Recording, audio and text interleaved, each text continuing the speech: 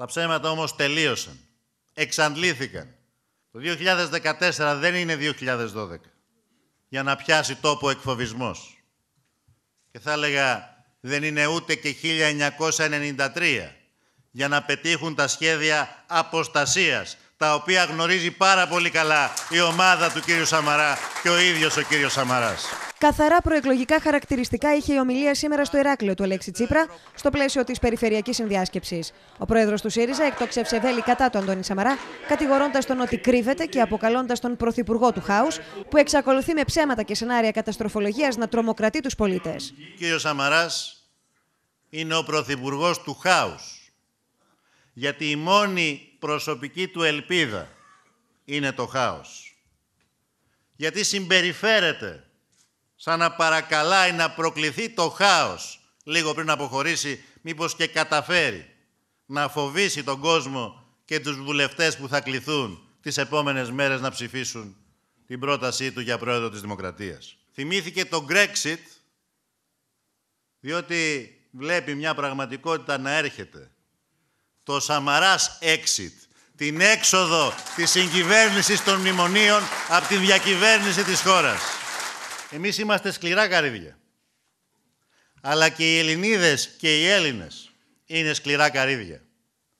Ούτε εκβιάζονται, ούτε τρομοκρατούνται εύκολα. Αντιθέτως, πεισμώνουν και αλίμονό σας αν πεισμώσουν. Ο Αλέξης Τσίπρας, στην πρώτη του δημόσια εκδήλωση μετά τις πρόσφατες εξελίξεις, τόνισε ότι η χώρα έχει ήδη εισέλθει σε προεκλογική τροχιά, αφού θεώρησε βέβαια ότι η συγκυβέρνηση Νέας Δημοκρατίας και Πασόκ δεν θα εξασφαλίσουν τους 180 που χρειάζονται για την εκλογή Προέδρου της Δημοκρατίας, ενώ δεν έλειψαν και οι αναφορές για τις περιβόητες συμμαχίες του ΣΥΡΙΖΑ, την ώρα που τα σενάρια θέλουν στενές επαφές με τη Δημάρ εν ώψη των εκλογών. Σημασία έχει ποιος βαράει τον ταούλι και ποιος χορεύει.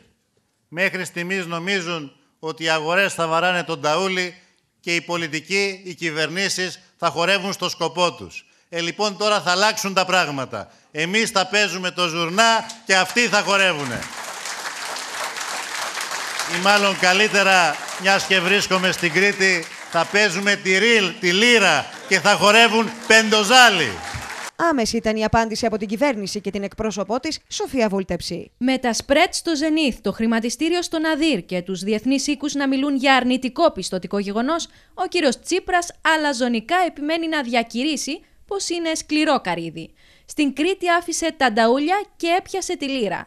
Η αλήθεια είναι πως με νταούλια ή με λύρα, μοναδική επιδίωξη του κυρίου Τσίπρα είναι να οδηγήσει τη χώρα στη χρεοκοπία. Από την ομιλία του Αλέξη Τσίπρα δεν έλειψαν και τα απρόπτα, αφού στη διάρκεια επίθεσή του στην κυβέρνηση, η γυναίκα από το κοινό αποκάλεσε κλέφτες όσους έφεραν τους Έλληνες σε αυτή την εξαθλίωση, ολοκληρώνοντας τη φράση της, λέγοντας ότι κάποιοι από αυτούς βρίσκονταν και στην αίθουσα της Περιφερειακής Συνδιάσκεψης, που προσκεκλημένοι ήταν εκπρόσωποι τοπικών αρχών και παραγωγικών τάξεων. Κλέφτε τα φάγανε και τα τρώνε μέχρι τώρα και εδώ μέσα γεμάτο είναι.